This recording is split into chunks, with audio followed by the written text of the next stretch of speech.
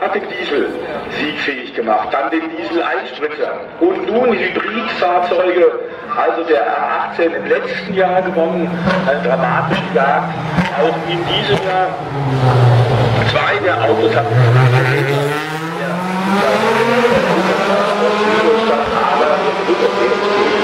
trotz gewaltigen Druck.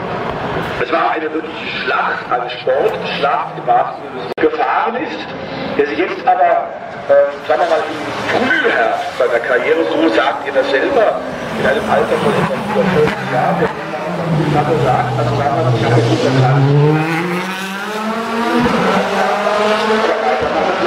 Audi Le Mans anzutreten. Peugeot hat zwei Jahre versucht, Heimer haben sie sogar die Siegesserie durchbrechen können. Toyota kam letztes Jahr war ein beinharter Gegner, aber diesen Jahr haben wir gegengehalten, aber Audi war deutlich stark, einfach auch zu schnell.